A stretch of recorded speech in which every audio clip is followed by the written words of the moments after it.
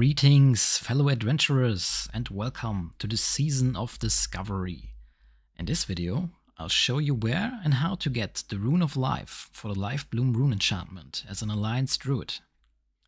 Firstly, we'll head to the northwest of Teldrassil, near the Oracle Glade.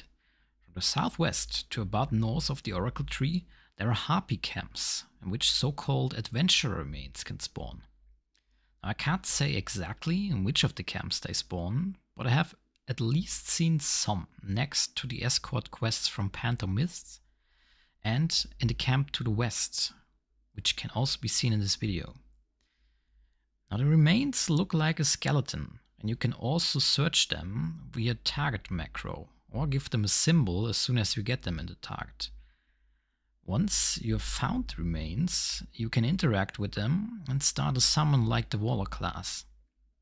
According to the description, you will need another healer in the party to do this ritual, so it would be best to have another druid, as they can also loot the rune. As soon as the ritual is complete, you can loot the remains and thus the Rune of Life with it. This will teach you the Lifebloom rune enchantment. It works the same way as it does in later versions of the game, namely a heal over time that stacks up to 3 times and restores instant hit points and half of its mana cost when it expires or gets dispelled. And that's it for the Rune of Life. Thank you for watching and have fun exploring. See you next time.